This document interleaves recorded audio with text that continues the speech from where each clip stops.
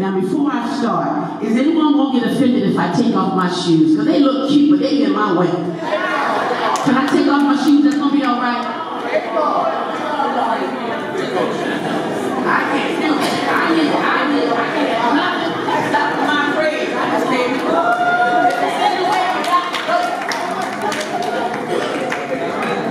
If it's in the way, let go. And to have your feet on holy ground. So this is what the Lord gave me, and I minister this to you and to everyone that's here.